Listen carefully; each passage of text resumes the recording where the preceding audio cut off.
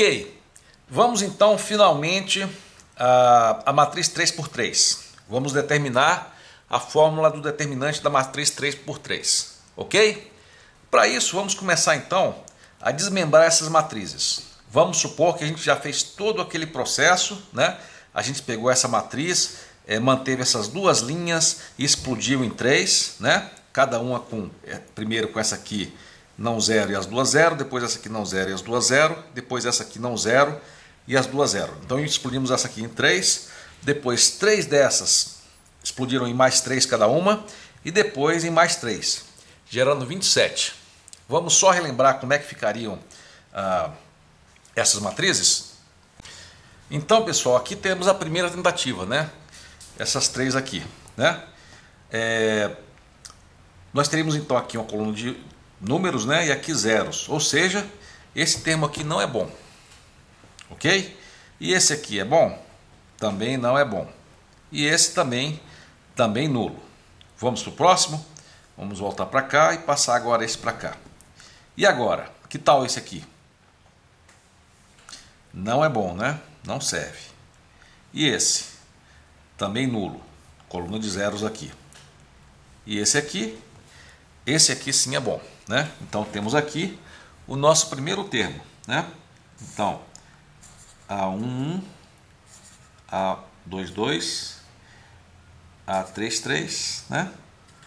e aqui zero.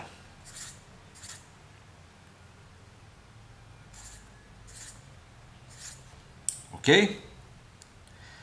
Vamos ao próximo? Né? Então, mais, né? Vamos ao próximo. Bom, ainda tem, vamos voltar aqui, né? Agora tem esse aqui.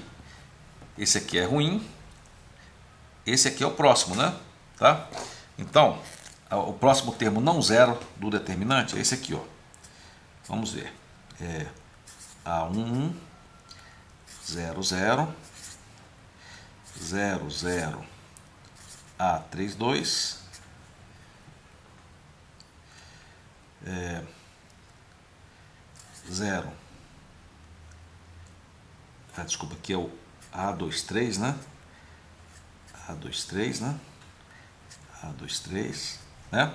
Aqui seria o A32 e 0. Ok? Pessoal, agora pare o vídeo e é, continue, né? Vamos lá? Faça o próximo aí, vamos lá. Então, qual seria o próximo? Esse aqui não é bom, né? Aí a gente pode passar para a próxima linha, né? Então seria essa aqui, zero, essa aqui, zero, essa zero, depois zero. Ah, não, essa aqui não é zero, não. Essa aqui é boa, né? Então a próxima é esta aqui. Vamos lá? É, zero, A1, 2, zero. A21 0 0 0 0 A33. Ok? Bom, vamos fazer o seguinte agora, em vez de eu fazer um por um, é, eu vou já vou colocando, vou pedir que vocês façam por conta própria e vou colocando os resultados aqui seguidamente, ok? E vamos ver se vocês vão acertando. Então vamos lá. Passem para o próximo agora. O próximo é este aqui. Então, acertaram? Confiram aí. Vamos ao próximo então. E o próximo é esse. Faltam mais quantos, pessoal? Vocês lembram da matriz 3x3? Quantos termos tem? É, Para lembrar, é só lembrar né? que é, você tem três combinações possíveis. É como se fosse uma fila onde você combina as três combinações possíveis de cada pessoa. Né? Então, é, você tem fatorial de 3 é, é, casos em que ah, o determinante não é zero, né? que dá quanto? 6 vezes 2, que dá 12. É, desculpa.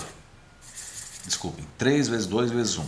Vezes 2 vezes 1, que dá 6 termos. Né? Então, o determinante é, da matriz 3 por 3 tem 3 fatorial termos, que são 6 termos. Temos 5 até agora, então falta mais um. Vamos lá, façam o próximo.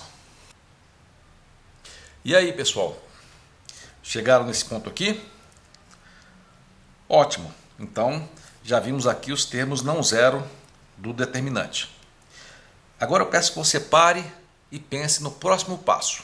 Pare o vídeo agora e pense um pouquinho. Vamos lá. Bom, pessoal, o próximo passo aqui é, é, é calcular, né? Então, eu vou, vou calcular um, um, por um, né? Só para vocês verem. Então, aqui temos igual, né? Quanto é que seria esse determinante aqui, pessoal? Ah, o módulo dele é A1, você lembra que eu posso fatorar ele para fora? O A1 para fora, aqui fica 1, o A22 para fora fica vezes do, A, A22 e o A33 para fora. Então nós vamos ter A1, A22, A33, né? E vai ficar aqui uma matriz de uns, né? Uma diagonal é, de uns, né? Que é a matriz de identidade. Então, e o determinante dessa identidade é 1. Então aqui nós vamos ter esse determinante com que sinal? Mais ou menos. Sinal mais, né? Porque aqui o resultado é 1. Vamos ver esse próximo aqui. Esse aqui, ó, tá? Esse aqui. Tá? Então vamos lá. É, eu posso fatorar, eu não vou botar o sinal aqui ainda não, porque eu não sei ainda qual é, tá? Eu vou botar para fora o A1, A23, A32, né? Então, é, oh, botei mais aqui, mas não sei ainda, tá? É A11, A23 e A32. Coloquei eles para fora, né? E aqui fica 1, 1, 1. Então imagine agora, troquem mentalmente isso aqui por 1, 1, 1. Eu sei o determinante dessa matriz? Não sei ainda. Mas aí eu pergunto para vocês, quantas permutações de linha eu teria que fazer para que isso virasse a matriz de identidade? Uma só, né? Se eu trocasse essas duas linhas, né? se eu permutasse essas duas linhas, eu ficaria com 1, 1, 1. Como eu tenho uma permutação, né, para chegar, aí eu troco o sinal. Então o sinal desse termo aqui é menos. Ok? Então eu peço agora que você pare o vídeo e determine se aqui o sinal é menos ou mais desse termo aqui. Vamos lá? Pare o vídeo e faça isso agora. Então, aqui nós teríamos A12, A21 e A33, né? E aí, fatorando para fora, né, colocando para fora, ficaria 1, 1, 1. Aí eu pergunto, quantas permutações eu preciso para essa aqui? Vocês podem me dizer? Para ficar 1, 1, 1. Parem o vídeo e vejam aí. Quantas permutações eu preciso para transformar isso aqui, 1, 1, 1, numa matriz de identidade. Vamos lá? Bom, é, eu preciso só de uma, né? Trocar essas duas. Permutar a posição dessas duas aqui as duas primeiras, né? Se eu, se eu permutar, vai ficar 1, 1, 1. Então, qual é o sinal? Mais. Ótimo. Né? Qual é o próximo? Vamos lá. Essa aqui. Né? Olha só. Então, vai ficar A1, 2, A2, 3, A3, 1. E aí? Passando para fora, vai ficar 1, 1, 1. Qual é o sinal? Ah, esse aqui é outro caso, né? Esse aqui eu acho que vou precisar de duas permutações. Eu posso primeiro permutar, façam aí mentalmente, permutar 1 com a 3 e depois a 3 com a 2, né? Então fez duas permutações. Ah, desculpem, essa, essa anterior aqui eu acho que eu errei, né? Aqui era só era só uma permutação, né? A 3 pela 2, então senão aqui também é menos, né? Então, desculpem aí. Mas vamos continuar em frente. Aqui eu vou ter que fazer duas permutações, né? A1 com A3 ficaria mais e na próxima ficaria menos, né? E na próxima ficaria mais. Então aqui é mais. Vamos para a próxima? Agora essa aqui, olha só. É, aqui vai ficar A1, 3, A2, 1 e A3, 2. Né? E aí quantas permutações?